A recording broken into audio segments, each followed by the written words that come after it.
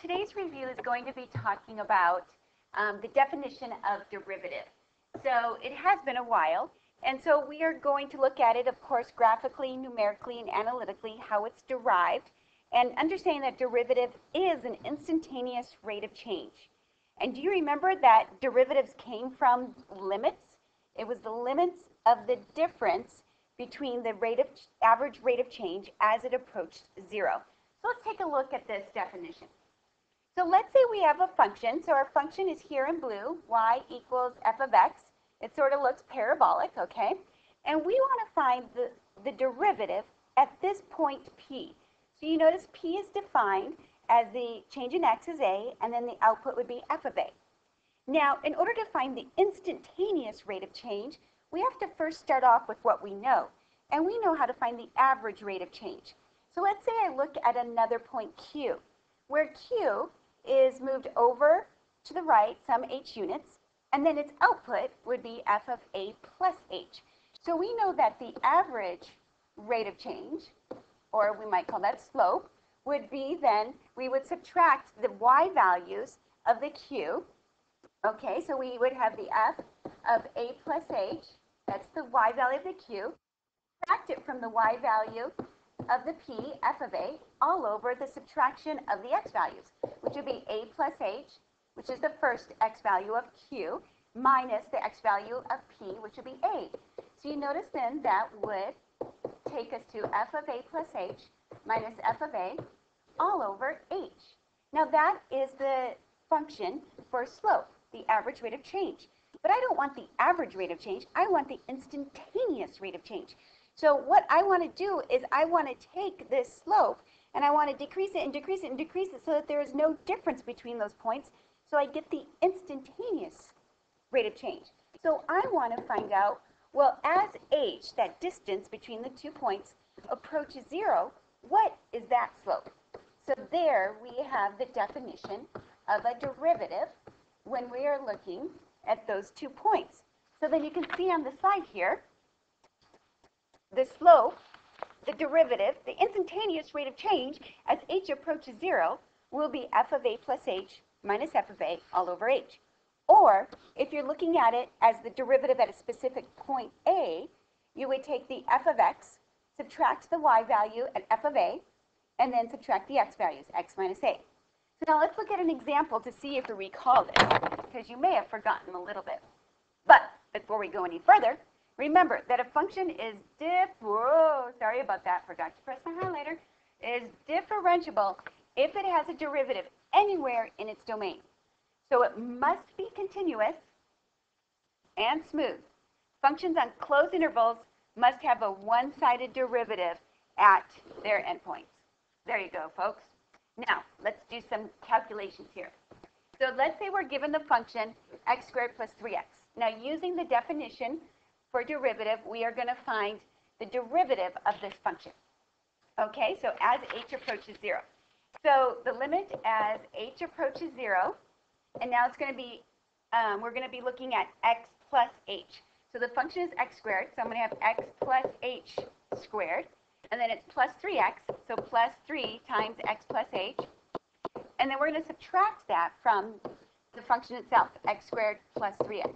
Whoa, you can't really see that 3, can you? All over h. You know, let's do some algebra and let's simplify things here and see what we come up with. So we'd have x squared plus 2xh plus h squared plus 3x plus 3h, and then it would be minus x squared minus 3x all over h. Now we're going to do some simplification. We notice we have an x squared minus an x squared there. Okay, anything else that can reduce? Ooh, we have the plus 3x, the minus 3x. Nice going.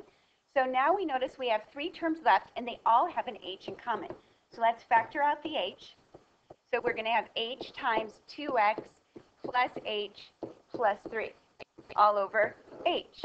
Well, the h is reduced. And notice we're looking at this as h approaches 0. So if h approaches 0, then we will be left with 2x plus 3 is the definition of derivative. And knowing the shortcuts, we can see that is correct. Now, what if we use the other definition of derivative? Now, this is looking specifically as the limit approaches a derivative at a point of value a. So we're going to have f of x, which is x squared plus 3x, subtracting f of a. So we're going to put that point, a, whatever that might be, into the f of x function.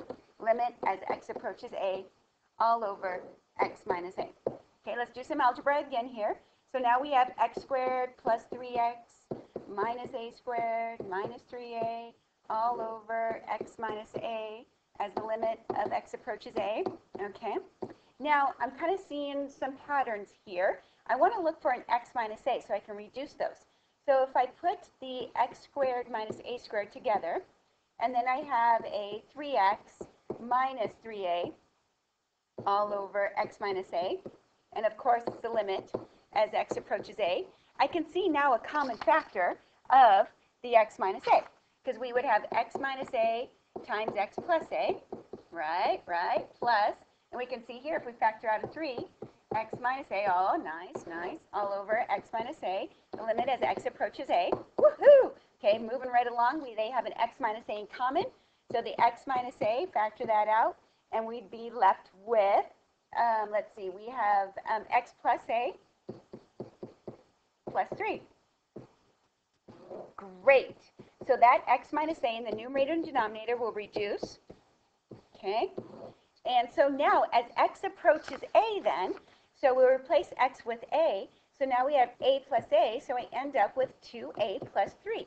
So whatever that specific point is that we're approaching, we could substitute that in and find the derivative at a point. Wow, do you remember all this stuff? I know, seems like a while, doesn't it? So number two, find the value of the limit given this definition.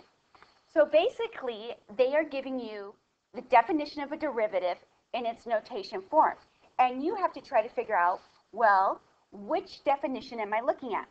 Well, I can see here, it looks very clearly like it's a function minus a function evaluated at the point pi, and then I have x minus that point pi, which is a. So, okay, so it looks like we're using this definition.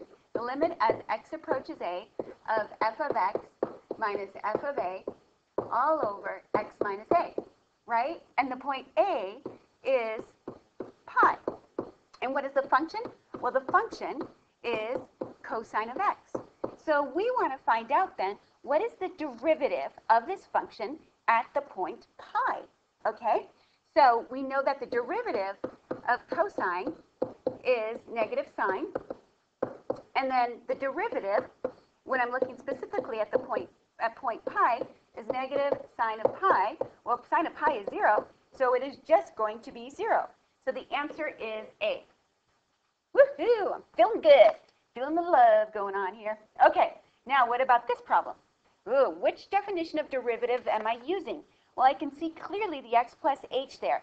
So I'm thinking it's the limit as h approaches 0 of f of x plus h minus f of x all over h. Okay, so let's define, define the key components. So f of x is tangent of 2x. Now this is the definition of a derivative. So we, what, we're not looking at it at a specific point. So my result is going to be a function, the derivative function. So let's take the derivative of this function. So we know the derivative of tangent is secant squared. Now this is chain rule, right folks? So I took the derivative of tangent, now to take the derivative of 2x, which is 2. So it's going to be 2 secant squared 2x. Okay? Um, and the last one then is you would have to find the limit as x approaches e. Like, wow, that's a hard limit to find. But actually, isn't this just the definition of a derivative? Because if we look at it, it looks like we're looking at a point as x approaches e. So you have to know these definitions like the back of your hand, right? Because if you know the definition, then you can match up the parts and find the answer. So in this problem, my function is the natural log of x. So take the derivative of the natural log of x, which is 1 over x, and then we want to find that at e. So the answer would be that derivative at the point e is 1 over e. Woo! Okay. Um, let's see, is that it? Oh, just remember that when we're looking at a derivative, we are assuming, it implies, because the definition derivative says it's in a definition, it will be continuous. So um, the points where a derivative will not exist is at the corner, at the cusp, and at a vertical tangent, okay?